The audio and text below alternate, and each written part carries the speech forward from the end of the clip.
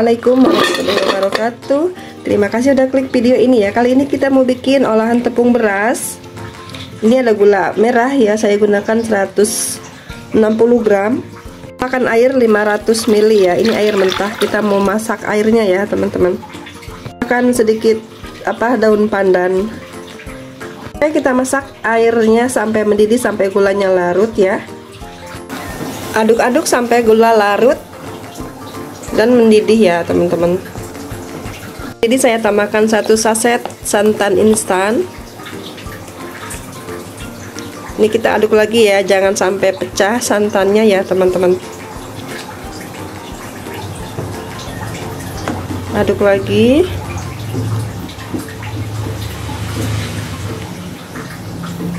Garam sedikit ya untuk penstabil rasa. Nah ini udah mendidih kita matikan apinya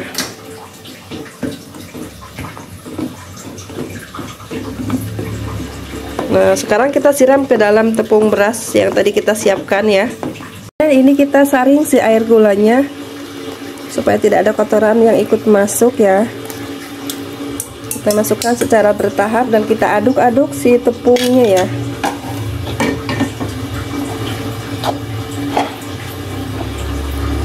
Aduk sampai tercampur rata dan kita aduk terus pokoknya ya jangan sampai ada yang bergerindil kita masukkan airnya dikit-dikit aja. Aduk cepat. Ini cara lain membuat uh, kue nagasari ya ini. Jadi tidak gosong bawahnya ya teman-teman. Kalau kita masak seperti ini ini zaman jadul zaman nenek saya. Buat seperti ini ya caranya disiram dengan air panas. Lama-lama dia menggumpal. Dan ini kita mau saring lagi dengan sisa air gula tadi ya.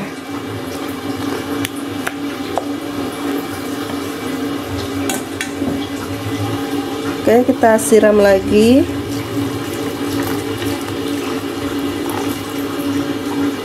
Kita aduk lagi ya sampai tercampur rata gitu air dan tepungnya.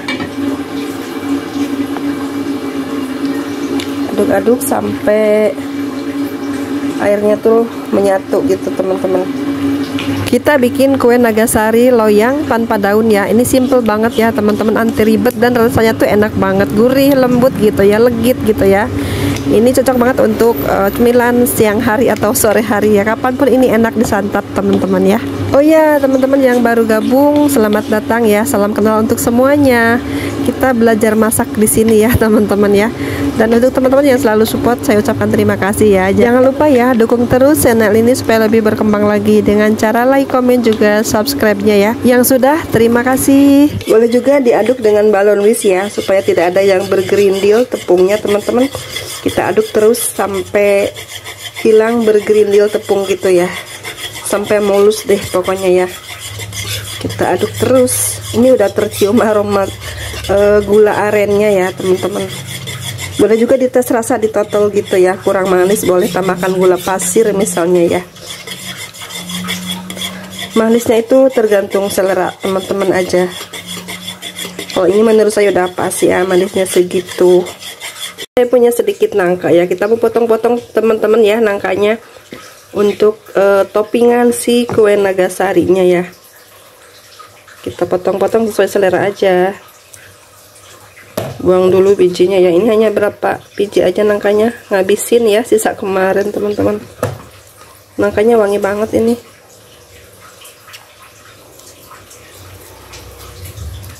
Sekarang saya siapkan kukusan ya.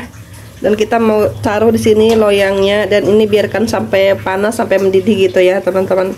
Nanti setelah ini uapnya keluar atau panas baru kita tuangkan adonannya di sini ya di loyang ini Oke setelah mendidih dandangnya kita buka tutupnya ya. Dan kita mau tuang adonannya itu di atas loyangnya gitu ya teman-teman.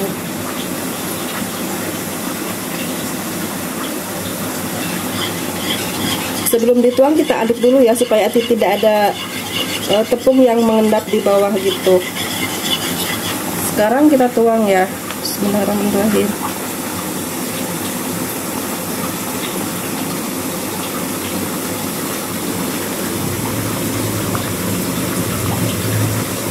nah ini cukup ya teman-teman. Kita tuang semua di sini adonannya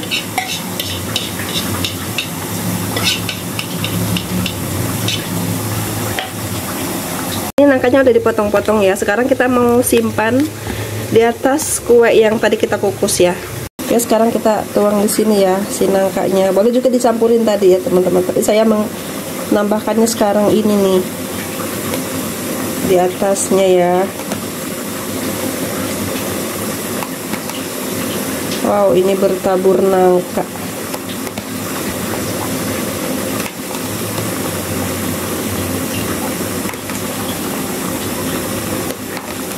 Kebayang dong aromanya ya nangka dan gula aren masya Allah. Luar biasa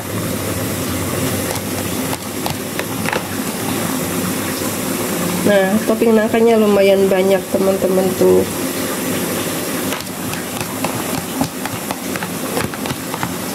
Waalaikumsalam. Yuk sekarang kita tutup ya kita masak sampai matang kurang lebih 30 menitan gitu. Pengukusan 5 menit pertama ya teman-teman. Kita kukus dengan api sedang. Tunggu sampai matang ya ini sudah 30 menit ya bun. Kita cek ya udah matang belum? Kita tes pakai tusuk gigi eh tusuk gigi. Pakai lidi gitu ya. Kita buka Bismillahirrahmanirrahim. Wow aromanya menggoda aroma nangka Masya Allah ya teman-teman. Ini udah menggiurkan sekali.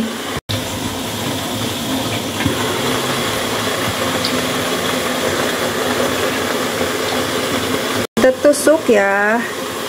Nah udah mateng ya teman-teman. Udah nggak menempel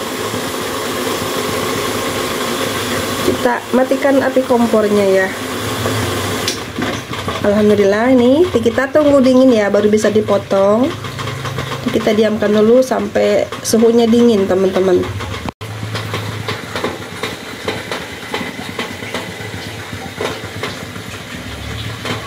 Ini udah dingin kuenya ya kita sisir pinggir-pinggirnya. Kita tuang ingin ke piring ya teman-teman Oh iya, terima kasih banyak teman-teman yang selalu support saya ya dan yang baru berkunjung, baru bergabung dengan channel saya. Saya ucapkan salam kenal untuk semuanya ya. Terima kasih sudah nonton video ini ya, teman-teman. Ini kue Nagasari loyang mudah, simple dan enak banget rasanya ya. Meskipun tanpa dibungkus tapi tetap rasanya enak, teman-teman. Lebih simple ya. Kalau nggak ada daun kita gunakan loyang seadanya di rumah. Nih seperti ini teman-teman tampilannya nih kenyal-kenyal lembut manis gitu ya. Oke sekarang kita potong lagi ya. Tadi udah dicobain dicicipin. Sekarang kita potong lagi. Bismillahirrahmanirrahim.